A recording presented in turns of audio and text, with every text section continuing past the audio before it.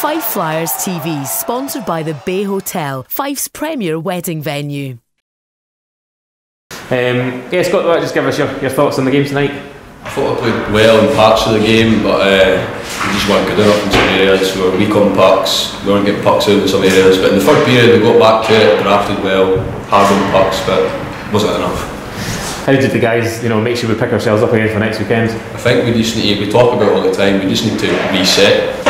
It's a big thing in the Flyers room, we need to just reset. It doesn't matter what happens in the game. Uh, yeah, we just need to start, work hard at training and prepare again. You happy as well? You've been getting a lot more ice time recently as well. You happy with that? Absolutely, but at the end of the day, I would prefer the team to be winning, not just me being successful. I would rather have the team winning games because I love this club and I want us to be successful. Cheers, Scott. Thank you. The Bay Hotel, where your dream wedding becomes reality. Visit us at thebayhotel.net.